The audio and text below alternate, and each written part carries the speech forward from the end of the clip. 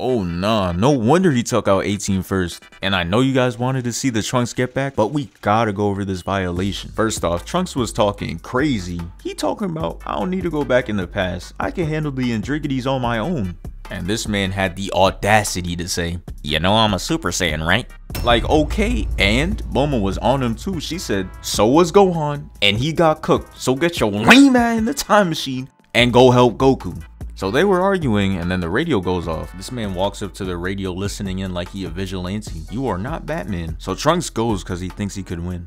And when the Androgynys were just about to leave, bro pulls up on some, where do you think you're going? And 18's like, boy, if you don't shut your weak ass up, goes up to him and hits him with the fade, sends this man flying. He crashes into the building, and then this man Trunks uses the weakest move ever. 18 just casually dodges it. That move is catching no one. Trunks throws a punch. I thought it hit her, but 18 grabs it.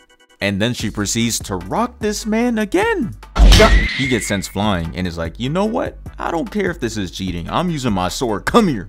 She dodges the first one, dodges the second one, and I'm like, oh nah, how are you gonna try to cheese with the sword and you still getting embarrassed? And her standing on the sword is a violation. He tried to hit her for the third time after that, and she pulls one of the craziest dodges. Bro, look at that. Oh nah. 17 comes to jump in, but bro, look at him. He thinks he's the Flash. So bro runs in, tries to trip him and fails. And then Trunks tries to hit him with the sword and then he misses. Has this man gotten one hit since he used that sword? Bro, put it down. And for the third time, he tries to hit him with the sword and this man catches it and says, I see your point. Like, shut up, 17. No wonder Gohan got that last hit on 17 before he went out. He's annoying. Real quick, thanks for 16k. So last time he left off, we saw Trunks getting body while cheesing with the sword. And we all know that you need to put that shit down. That sword had no hits. He just like that one SoundCloud rapper from high school. He telling everybody he dropping a new song, then somebody airdrops him this meme. Oh nah, we can't even have dreams anymore. Anyways, Android 18 comes up to Trunks and hits this man with the Rasengan, sends that boy flying. His sword drops and then they ki spam him. They must have thought his ass was gone. He not going out the ki spam, he comes out the smoke swinging. He goes after 17 for that weak ass joke. That boy caught the mean fade, no lineup. And look at 18, she thought she was about to sneak a hit in. That boy Trunks was on that. Kicks her in the stomach and hits a home run with no bat. That shit was clean. And then he fires a ki blast to end it off. But we all know that doesn't work. They even had a fake ass oh no expression. You would think that they were finished. Someone give them an Oscar. And look at Trunks, bro really thought he had it. Talking about some, I did it. Bro, did what? And the androids are evil. They come out the rubble and 17 talking about some, what exactly did you do? With your weak ass. Trunks gets angry. He starts ki blast spamming. That's how you know he's Vegeta's son. And to no one's surprise, that shit does not work. And you would think that after Trunks sees that it did no damage, that he wouldn't try that shit again. But no, this man 17 baits him and Trunks falls for it and does the same thing again. Why? At this point, I'm watching it like, yeah, just jump in, bro. Like, just, just jump in. And that's exactly what they did. 17 comes out the building and hits him with the mean backhand. Sends that boy Trunks flying in there. Slides right to 18 and she takes a penalty, gets him back for that home run. And this shit just turns into a horror game. Matter of fact, this is just a Dragon Ball the Breakers ad. Bro was just out there running. The Androgynys turned Trunks into a track star, had bro running. They turned this shit into a cliche cartoon. Trunks thought he was safe and then he turns around like, Damn. He really about to rock my shit. So now they just got Trunks on the ground looking sorry and shit. And I know Vegeta rolling in his grave right now. This is just a violation. He going out sad. They boot his ass out the building and all of a sudden he's a Super Saiyan. I don't know what happened. But look at 18 though. You are not Michael Jordan. So 17 sends Trunks to go drown. They try to do him like Jiraiya. But he was not going out like that. He gets up out the water and this man 17's like, yeah, anyways, sit your weak ass down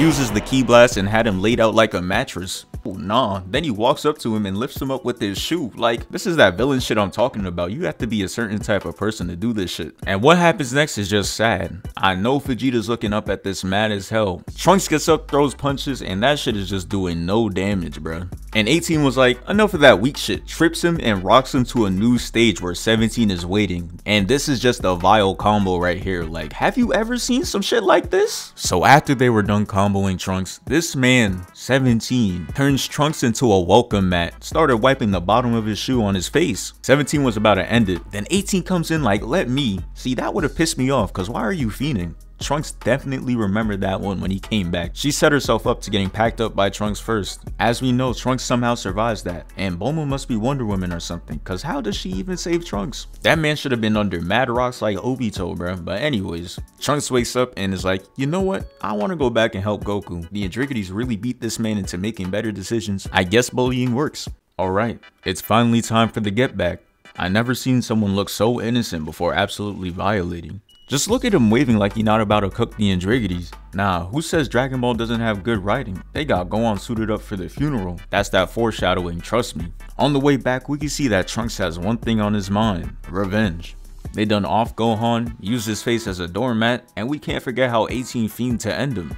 Yeah, it's over. So Trunks finally gets back and lands, and he runs inside the house to where Bulma is and she starts inspecting him and she like, yep, we saved. So they were sitting and talking, and the radio goes off talking about how the Androgynys were out there attacking the city, destroying buildings and shit. And here goes Trunks thinking he's Superman. He gets up like, this has to stop. Throws away the jacket. Dun dun dun dun, superhero head ass. He goes Super Saiyan and flies out. And look at this. And look at this. He has never flew like this in his life. I'm crying. Who does this man think he is? We see the androids on day 300,000 having control over the whole population. And they just still out here destroying buildings. They actually have to go. How are you not bored of this? That's what Trunks is here for. Look at 18 talking about let me handle him first. Bro, you are not handling shit. She fires a ki blast. This man Trunks dodges it and then he goes behind her and just rocks her. He like, shut your weak ass up, mink. She gets up mad as shit that she just got faded like that and goes straight after him. But she didn't know he a part of Weave Nation, starts dodging everything. Throws another punch, she catches it and gives her a knee. And hold up, y'all saw that? She trying to hit fadeaways in Dragon Ball. First the shoulder shrug, now this? This is crazy. You are not Jordan. And look at how Trunks is moving, bro. Swears he's in the edit. We get it, bro. You dodged it. It's finally time. He laid the fit out the night before for this one moment. 18 just got work, she looking at 17 like let's jump his ass. It's been 14 plus years and the jumping has never failed them. Look at 17 smiling like this about to be light work. Listen 17, just because you were farming wins off a of Puddlehan doesn't mean you about to farm wins off of Trunks. They go in and Trunks weaves 18 so bad he had her schmooving out the frame. Shorty is lost, give her a map. Then he dodges 17. He had bro tweaked, what is he looking at? Oh nah, that shit was vile. Look at this man 17. Brody smacked the evil out of him. And look at 18 with these weak ass ki blasts. This man Trunks didn't even bother dodging them. He just blocked all of them and went straight for her. Then he uses this crazy attack and booms her. Turns Shorty into straight crumbs. He had 17 like, oh nah. And then this man turns around like, square up. You're next goes straight after him. This man doesn't block, dodge, or anything, just gets his shit cooked. And then this man Trunks does 80,000 flips. Now this man Trunks is trying to hit a clip on 17. Doing that many flips is egregious, but anything to slide for Han. Look at this man 17. You would think Trunks doing all these flips would give him time to run, leave, or something, but that kick got him laid out like a mattress. Bro is still slumped. But Trunks finally gets the last Androgynys, and the world is finally saved. But there's one more person he gotta beat. So this man Trunks knows Cell is trying to hit a lick on him and take his time machine. He tells Bulma to dip out. She wasn't listening at first, but she got the message, cause once you see bro's face, that is a face of a man that is not about to get caught lacking. Bulma's like, oh shit, he's serious, runs inside. And Trunks is like, Cell, you're not low, I know you're there. He like, huh? And then we see the angle this man Cell is hiding at, and I'm like, bro, why is he peeking around the corner? Nothing is even covering him. He'd be better off standing on top of buildings like he's Batman. So Cell is like, damn, I guess you're not an easy lick. And Trunks is like, yeah, I guess I'm not and Cell starts walking up.